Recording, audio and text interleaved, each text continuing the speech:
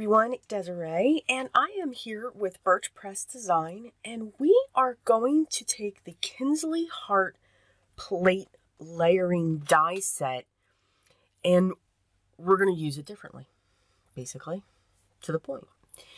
So you can see you've got your three different layers here, as always. This is, uh, the plates are the size of four and a quarter by five and a half, so they will fill um, the front of a standard A2 size card base.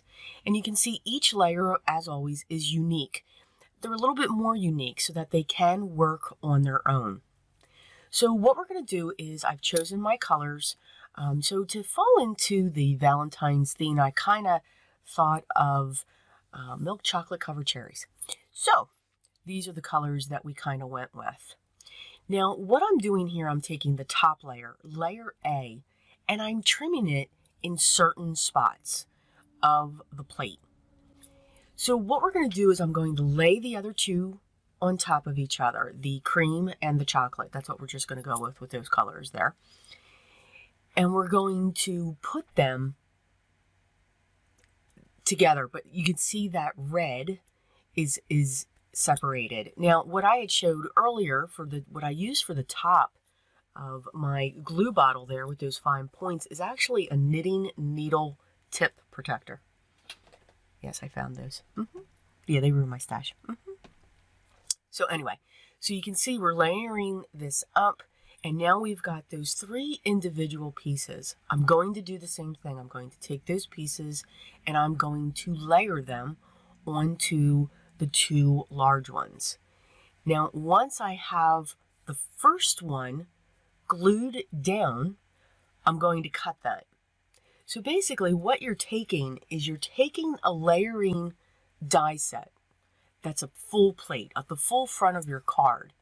You're going to cut it in different ways. So from one layering die set that you make, you're going to get three different cards.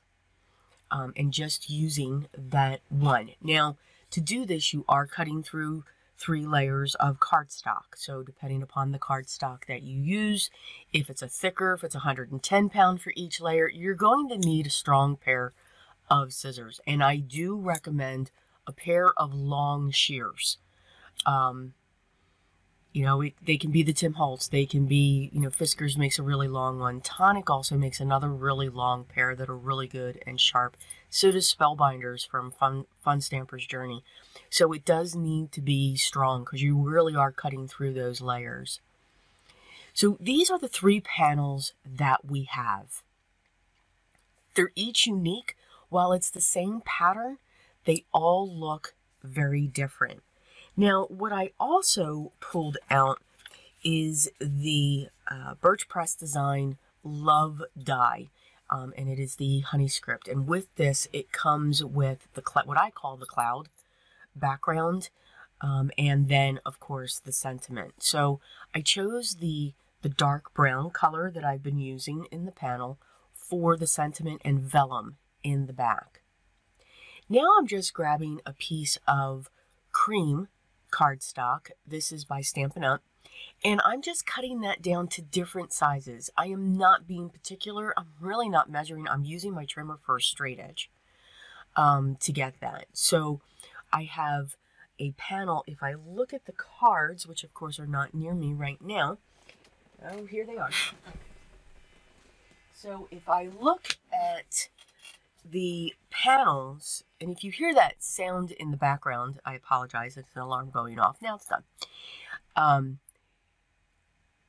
so I've created just to have a focal point so that it had a quarter of an inch around the one panel. Um, I have another panel cut four to five and a quarter, and then I have another panel that was cut to four and a quarter by five and a half. So here I'm just putting the sentiment onto the vellum and then setting those aside and then we will set up our standard A2 size card bases.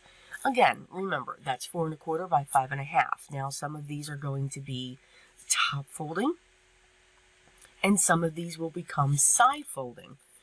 Um, I do have my card bases pre-cut um, and I keep a stack of those off to the side and what I do is I always cut them to be four and a quarter by 11. And then as I need my card bases, I just score it at five and a half and then fold them in half. So I do lean towards the top folding card. Um, it's just preference. I don't know why. It's just something that I kind of gravitated to. So you can see that once we have our sentiments together, now we're just layering our different panels onto our card fronts. I think this is a great idea. Um, one, it stretches your layering dies. We just don't have to use them to cover the full front. We can cut them up. We can cut them up on an angle. We can cut out squares from them. We can do all of these different things with those layering dies and they would make absolutely great, you know, note sets for somebody for a gift. Um, or creating your own note cards. Um, because I do believe snail mail is going away very quickly.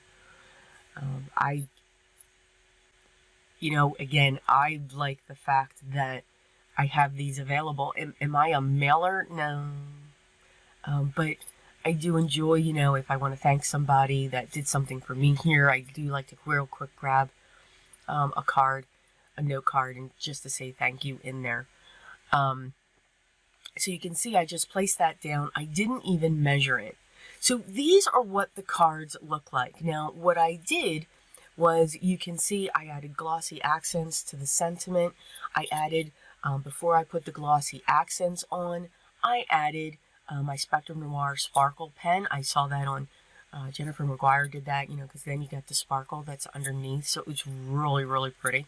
Um, and it works really well. At least it did for me. Um, so again, you get three cards. I also added some clear crystal gems, which will take on the color of the cardstock that I'm putting it on. So they became burgundy or that deep cherry red. So again, look at your look at your items that are in your stash and see how they can adapt, see how they can be adapted. So again, showed you another way just how you can use a plate layering die set by Birch Press Design. And of course, yes, this is one of my design team projects. Um, and I do hope you enjoyed it. I hope I gave you some tips and tricks for how you can look what's in your stash or how you can look at any of the Birch Press design plates that you may have in your stash. As always, all the products that I use will be listed down below um, if you want to check them out. Um, remember, there are some affiliate links. And again, when you click on those affiliate links, um, at no extra cost to you, I do receive a small commission. I hope everyone's having a great day, enjoying the new year um, as best as we can, but we can always smile through anything.